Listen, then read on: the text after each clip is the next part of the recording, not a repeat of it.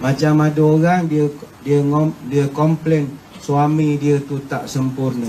Mana ada orang laki-laki yang sempurna dalam dunia? Yang sempurna ni nabi kita je yang paling perfect. Asal nama bukan nabi, semuanya ada kekurangan. Masa saya jadi kadi, ada orang, ada isteri, dia mengadu tentang suami dia. Dia kata, Ustaz, saya punya suami ni kerja rajin, duit banyak, ahli perniagaan. Cuma masalah dia ni Ustaz, dia ni uh, apa nama malas semayang. Saya tanya teruk sangat ke dia punya malas semayang? Teruk dah Ustaz, tahap puaka dah malas ni. Kata, wah ini istilah jarang dengar ni tahap puaka ni. Apa makna tahap puaka? Saya nasihat dia bukannya dengar Dia main-main pula Saya kata bang Orang tak semayang Kena belik dengan ular dalam kubur Dia bukannya nak insaf Dia tanya Dia challenge pula saya. Ular tu nama apa? Kalau teror Isteri jawab Manalah aku tahu ular tu nama apa Aku dengar ceramah je. Suami pula explain Ular tu namanya Syuja'ul Akra. Ular tu besar Dia belik ni Temu tulang rusuk ni. Dia hentam kita sampai tujuh kali bumi jadi isteri duk ngadu. Saya ni ustaz. Baru tahu ular Dia nama ular pun dia hafal. Semayang dah. Tahap puaka. Itu suami sekolah harap dulu. Hantu punya suami.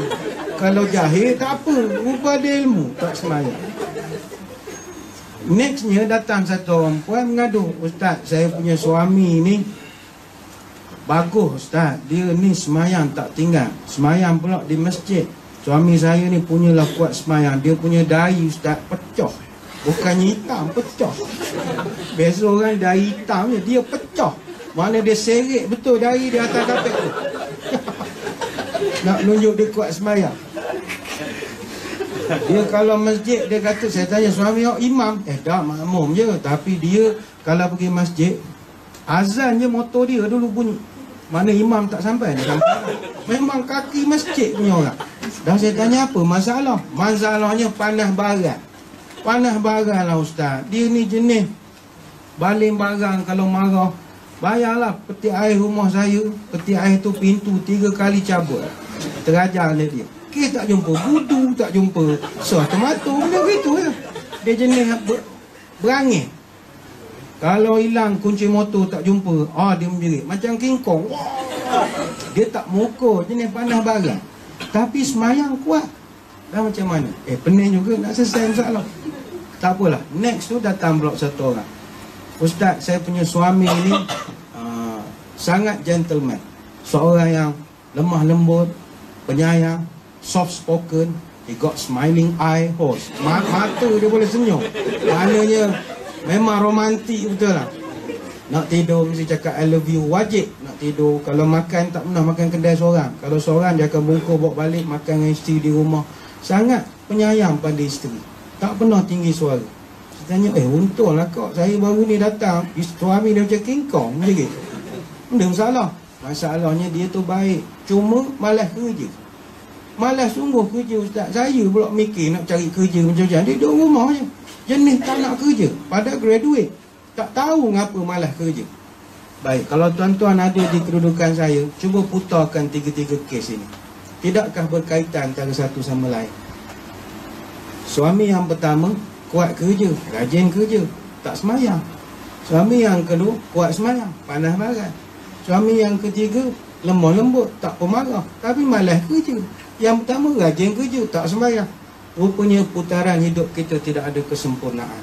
Sebab itu terima sajalah suami kita seadanya. Terimalah. Sama juga dengan tuan-tuan. Terimalah pasangan kita seadanya.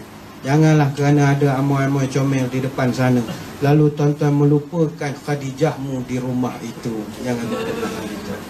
Ya. Isteri kita ini bukan macam papan skateboard. Belum main di pijak di di gilap-gilap dah main di pijak-pijak. Isteri kita bukan macam bulu tangkis main badminton belum main di luruk-luruk Dah main di semeh sekuat-kuat hati. Isteri kita bukan macam bola Belum main, dikejar-kejar Dah dapat, ditendam pula sekuat-kuat hati Tonjol pula tu.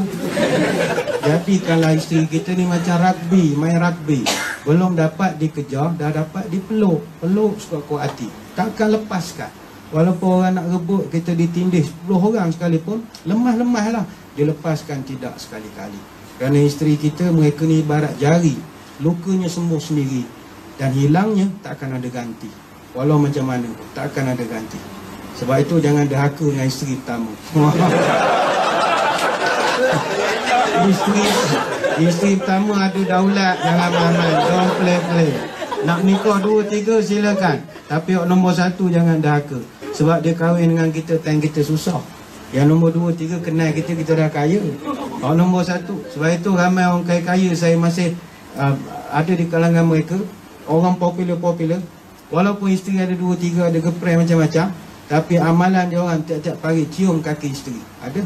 Bukan Islam lah. Cium kaki isteri dia. Sebab dia kata Kerana kau aku dapat om. Lepas itu nak noti boleh. Jangan derhaka dengan nombor satu eh. Kena selalu angkat semua. Ampun tuan Cium tangan hari-hari ya. Kata A.A. Jin Alhamdulillah Jin Nastia Orang yang ahli syukur Nombor satu sekali Dia tidak merasakan dia memiliki apa-apa pun Melainkan semuanya hanyalah pinjaman. Ini nombor satu. Apa juga yang ada pada kita? Handphone kita, kereta kita, pakaian kita Ini semua pinjaman. Sebab itu bila hilang sekalipun Kita tak kisah sebab pinjam. Tapi orang yang tak ada sifat syukur Bila hilang dia marah. Kereta dia orang sondor dia marah. Kalau dia berfikir ini pinjaman Dia tak akan angin satu badan dia sentiasa syukur. Elok atau tak elok Terima kasih Tuhan. Yang kedua kata Ajim Dia puji Allah Tak kira suasana apa Masa dia senang Ataupun susah. Kita masa senang Kita puji Masa susah pun kita puji. Dan Allah sebut Siapa yang ingat aku masa dia susah Aku akan ingat dia masa dia, sen- dia Ingat masa aku senang Masa dia senang Aku akan ingat dia masa dia susah. Ramai orang masa dia susah Dia ingat Tuhan. Bila dia senang Dia lupa pada Tuhan. Jadi bila dapat nikmat Masa sambut birthday Jangan lupa pada Tuhan. Nanti bila kita susah sakit Tuhan ingat pada kita. Yang ketiga kata Ajib Orang yang ahli syukur Dia merasakan nikmat adalah jalan Dia dekatkan diri dengan Tuhan. Allah berikan kita kereta. Kereta tu nikmat pada Tuhan Walaupun kita kerja siang malam. Tapi kereta tu Allah yang bagi. Patutnya kereta itu kita gunakan pula Untuk dekat pada dia. Inilah dia panggil Orang yang bersyukur Allah beri kita rezeki beli handphone. Orang lain kerja juga tak mampu beli handphone macam kita. Tapi orang ahli syukur handphone tu dijadikan untuk dia dekat dengan Tuhan. Apa cara dia buat? Berdakwah dalam grup dia. Selalu pesan, bagikan hadis-hadis untuk orang dekatkan diri dengan Tuhan. Kereta yang dia ada, bawa dia pergi masjid. Duit yang ada di dalam poket dia, dia dekatkan diri dengan sedekah, infak, berzakat dan seumpama dengannya.